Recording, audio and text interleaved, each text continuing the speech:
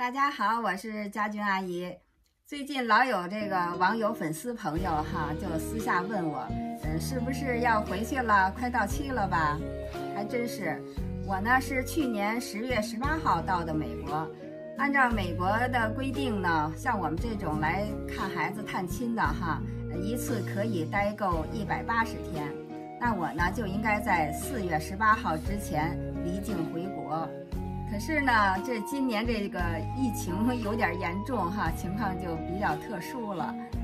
我在这儿待的这段时间哈，就看孩子们生活状态挺好的，嗯，两个小的呢也都那个最小的都三岁多了，也也不需要太也懂话了，也不需要那个太多人照顾那什么了，呃，所以呢，呃一我一待闲闲的时间多了的话呢。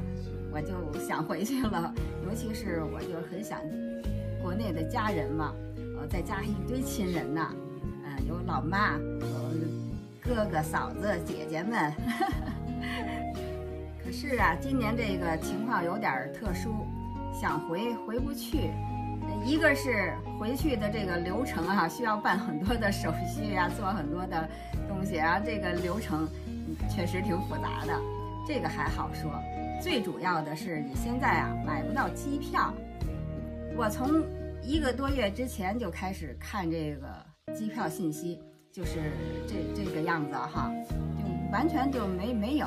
像我们这种从国内来美国看孩子的家长们啊，还是挺多的。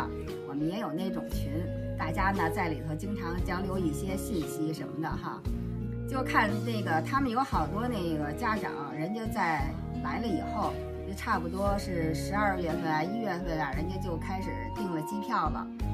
你别看他订的早，就最近这些日子啊，是每天都有取消的，就这航班就都给取消了，就完全就没有飞机回去。